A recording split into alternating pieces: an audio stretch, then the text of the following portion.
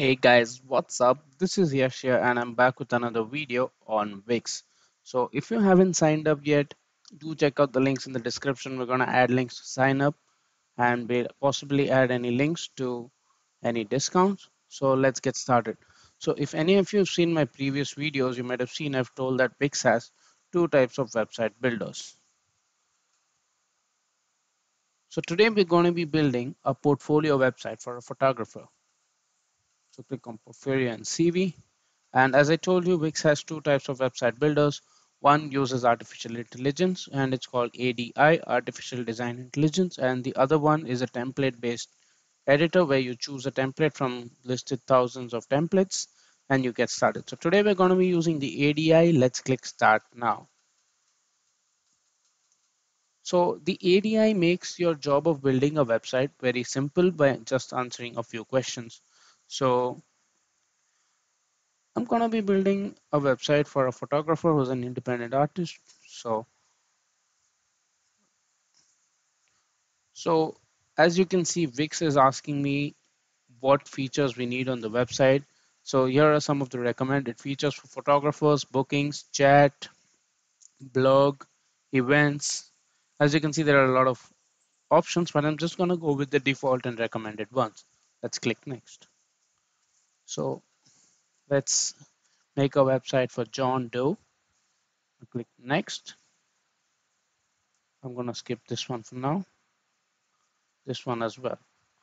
So right now Wix is asking me to pick a theme. So as you can see out of the listed six themes, once you hover over a theme, you can see a description of the theme. So I'm going to go with grand, I think. Let's click continue.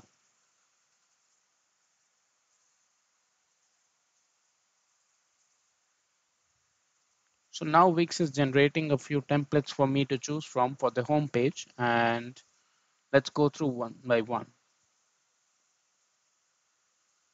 Okay.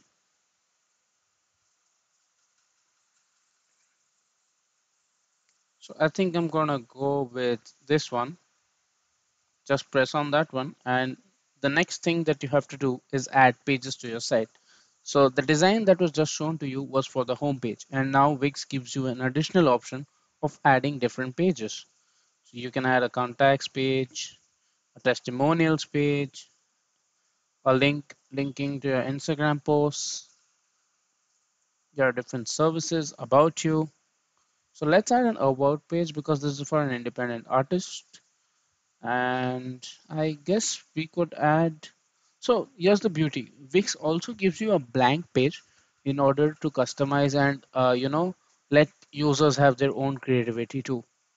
So I guess we can add a contact page too. So let's click edit site. So now Wix is adding the pages to the editor and as you can see it's generating all the pages and applying some final touches. This should take around a minute or two. And yep, we have the site ready. So let's have a quick look at the site. This is the home page. And as you can see on the top bar, you have the navigator for the pages. Once you click this, it's going to show you all the different pages.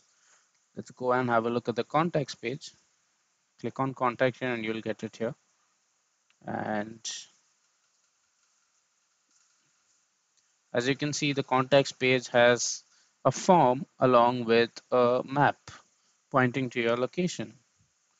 Let's go and have a look at the about page. As you can see, we added a chat option and that pops up right here. Let's go to the book online page.